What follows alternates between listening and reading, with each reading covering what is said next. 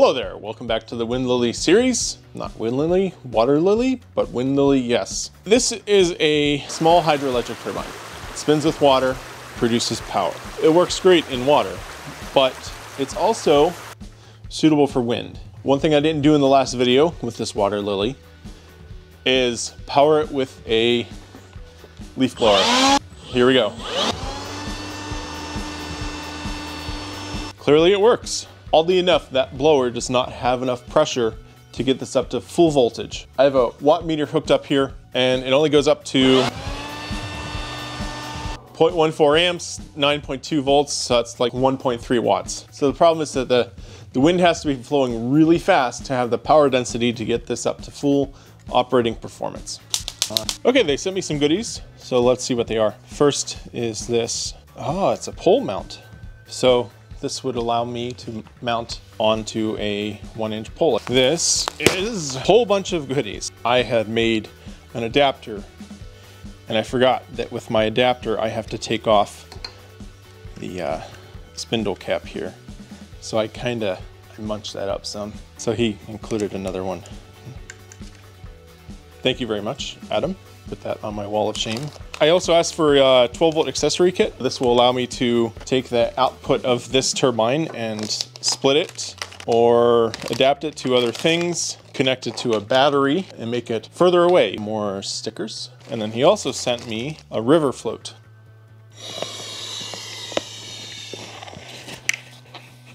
So now I can attach the water lily to this and throw it in the middle of a river or over a bridge or something and it would not sink. This is the, uh, let's see, I'm gonna guess it's the waterproof accessory bag, charging electronics in inclement weather, and it has a USB pass-through. So on the inside here, you can plug your USB power bank's battery charger cable into this and then feed this in from the turbine. And then a strap to carry it all. And, oh, this is a good thing here, some organizing straps. So I had grabbed this out of my zip tie bin before filming this video just to keep it all organized. Of course it's yellow, matches just like my shirt. And now with these cable ties, I can keep all of this organized when I put it in the bag. I don't know if these will come with any of the kits. These might just be promotional that they threw in for me. Okay, here we get to the Wind Lily accessory kit. So that turns the water and wind turbine into a dedicated high performance wind turbine. And by high performance, I mean a few watts to charge a few things. So this includes, okay, it does include a cable strap and a portable storage bag and a hubcap here, it unscrews.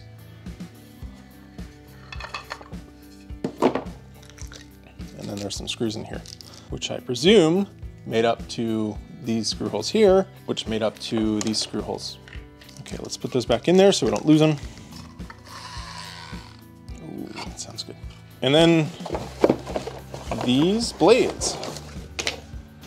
I am not a plastics expert, but you know, these are pretty durable blades themselves. Assembling these is pretty easy. Stick that in there and then, so get all the blades in and you screw the cap on. Feels nice when things just go smoothly like that. Now, this has the tapped holes in it, not the turbine itself. So that goes on there, and then we just back wind this and it locks in right like that. And now we can take our Phillips head stainless, mind you, these are all stainless hardware Phillips head screws. And just drop that in there and tighten that up. You feel them snugging up a little bit more. Now we have a wind turbine. Plug it into the power meter and make power with it. Okay, let's set it up in the shop and uh, hit it with the blower. And so additionally we have this mount. One thing that might be nice is to make all of these screws captive screws somehow. So you take them out, but they still stay attached to the part so you're not out in the field, literally in a field, losing tiny screws in the grass. So I think these are Phillips head one. Got Phillips head one screwdriver. Yeah, there we go. That's better. And three, fit and finish is absolutely perfect. The hole lines up precisely. You know, I don't have to fudge anything. It just goes. And these straps are nice for attaching this power adapter module to tripods. For those wondering, I love this thing, XBU03. And here's that little LED strip hooked up just as an indicator that it is actually making power. And I disconnected the other power meter because it's because it's kind of clunky and I think it's consuming some of the power.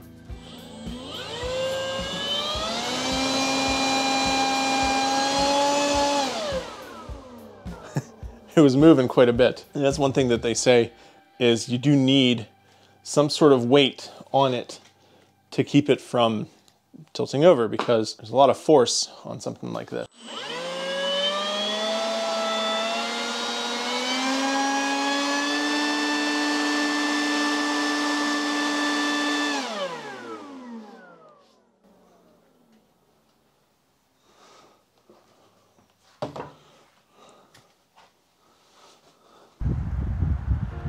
the anemometer's showing maybe six six miles an hour, which isn't really enough to work for most turbines. So we got some good solid light coming out of that. If it was nighttime, that would be very bright, but since it's daytime and snowy, that's not appearing terribly bright for the camera.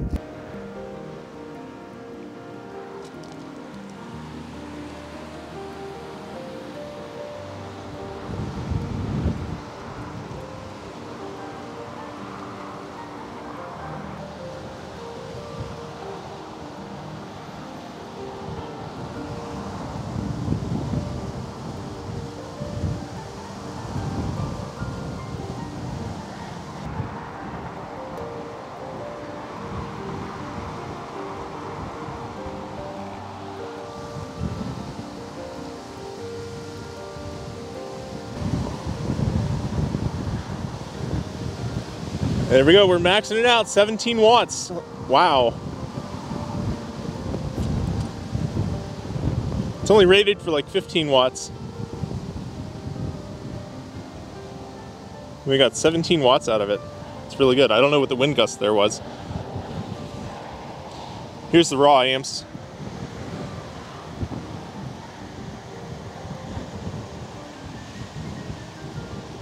Fifteen watts. 16 watts. I'm just reading the numbers right off of the watt meter there. 16, 17, 18. You guys see that? 18 watts. Man, this thing's working pretty good. As long as there's enough wind, it works really good actually.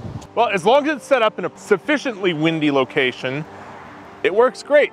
But if you have like mixed wind or low wind, it's probably not gonna do very good okay? Just, just so you know that, have appropriate expectations for what it's capable of doing in certain sites, all right? And that's not bad for a wind turbine that you can pack in a backpack. Now I do have it just connected right here to this lead acid battery. The engineer I was talking with, he said charging a lead acid or other lithium battery directly is what it's best suited for. It puts out 14 and a half volts. Now a few more comments about this. I have it on my Manfrotto 055 tripod with a cinema head on top and I'm using that as the swivel and then I attached a, uh, a piece of plexiglass to the handle. so that's a swivel. Now he told me that they're still working on a, a tail and a swivel assembly to mount on a tripod. They had also sent a pole mount. This goes on a one inch Schedule 40 pipe. And I had that mounted there, but it's not really, uh, it's not faithful to the intended use of this turbine. It's meant to be portable and temporary, not somewhat permanent like I had it set up there. And I do have it weighted down with a bucket that's hanging off of this. This tripod has a, a bag hook right there.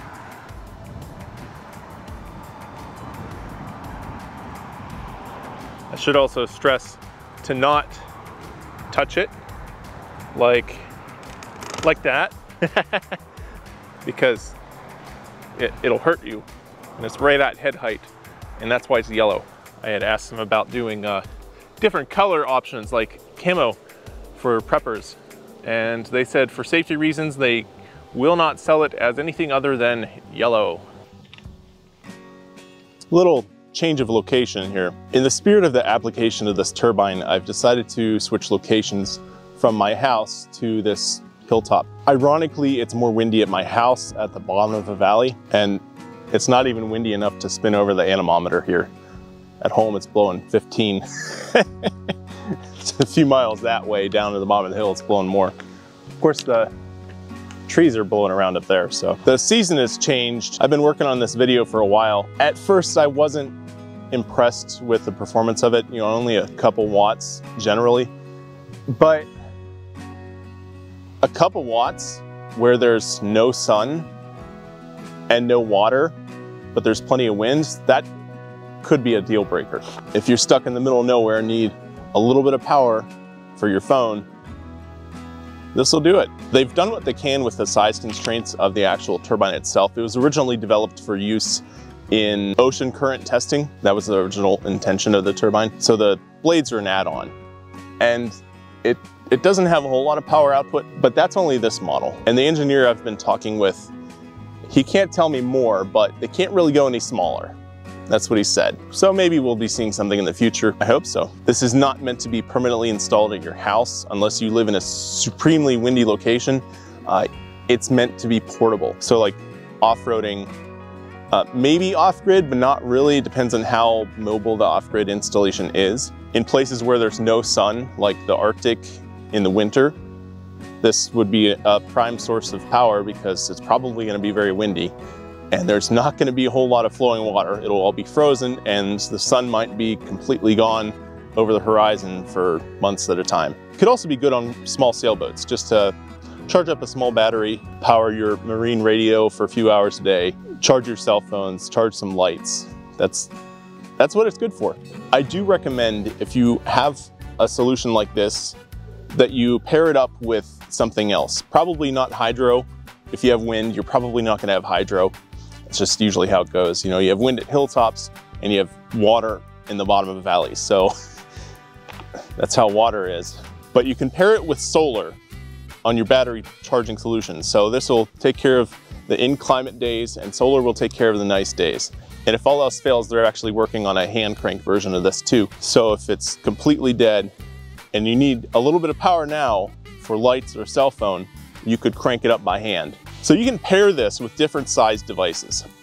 Um, if you have something big, like a large size solar generator, it might be best to get two or three of these and you can hook them up in series or parallel, it depends on the voltage that you're looking for, and you'll be able to overcome some of the charging losses in a, a large device like this. You might better pair this turbine with a smaller solar generator battery pack power station. This is a, uh, an Energizer that I've used previously and this charges it decently well. If you have strong enough wind for 15 watts of output, it'll charge this in 16 hours. This is a 240 watt system. This would take 40 hours to charge.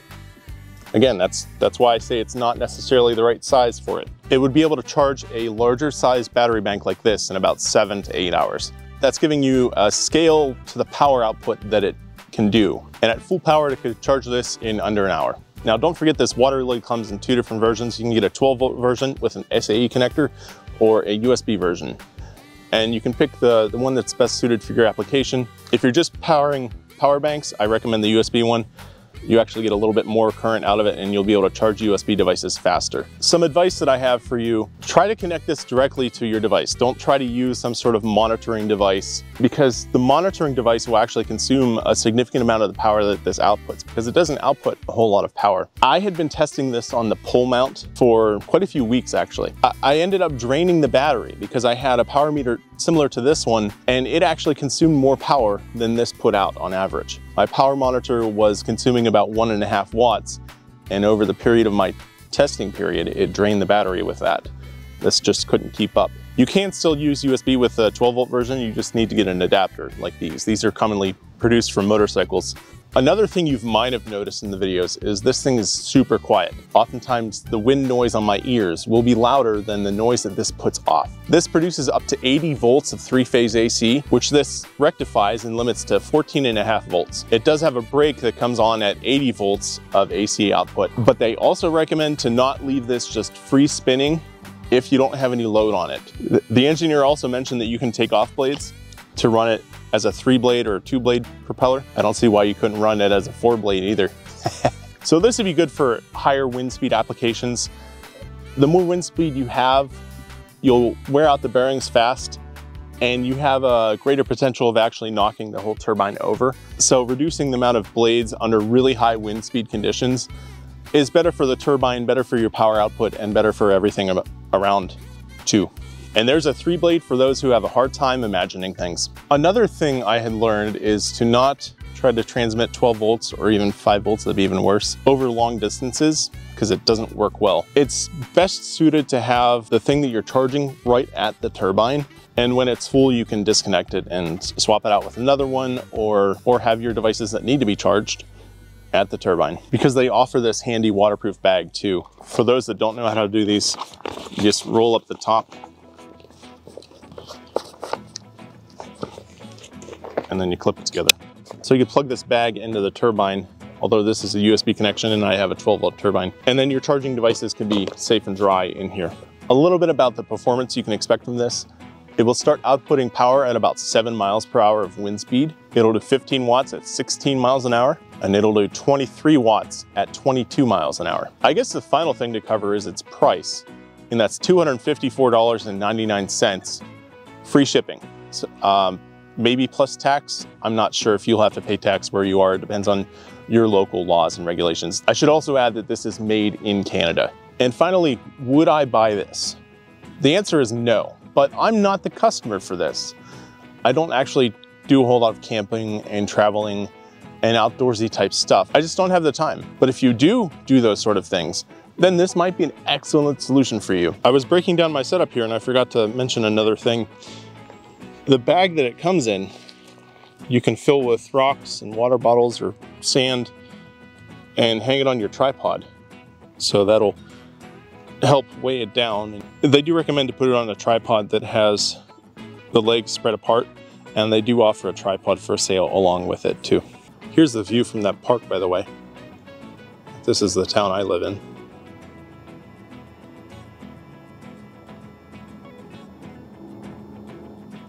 Like, comment, and subscribe, and stay tuned for the bloopers.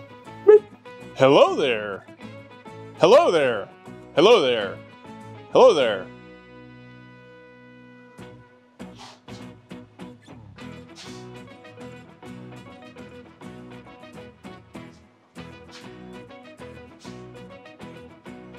Good focus. A little bit of thumbnail shot there. Get my face in it. Act excited. Negative, Batman.